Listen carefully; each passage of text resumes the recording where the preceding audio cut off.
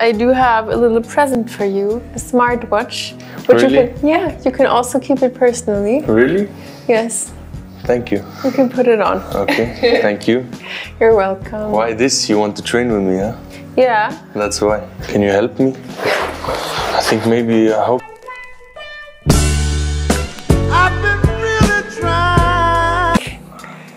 if you're maybe a bit stiff from having a game.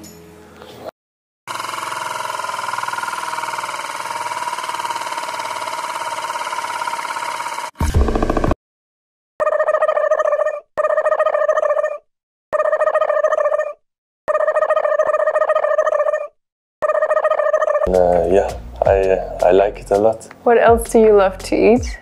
This. Like the, it looks like this. Oh, this. Uh, oh, I I haven't. Oh, you have to try no. pretzel. Is it good? I mean, it depends. Yeah, then I have to try it. But uh, no, no. I wanted to stretch my chest and my tummy. So if you want to join me for that, Okay. very good. And if you want to, you can also do like a cobra tiny push-up, which stretches the back, but you can also stay just here. No, I think I stay. Okay, I'm gonna do the push-up version. I think so, yeah. you can now massage your lower back by twisting from the left to the right and pushing your lower back on the floor. So you kind of have to squeeze your abs. So do you prefer the warm season or the cold season more with soccer? I. and then it's like a spine twist.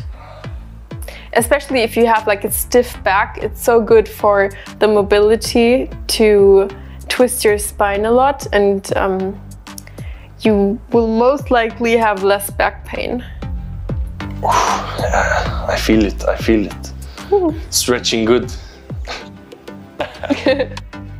And what else is on your schedule today after this? And now I will eat my lunch. Mm-hmm. And uh, Thank you so much for joining me. thank you for coming. Boom.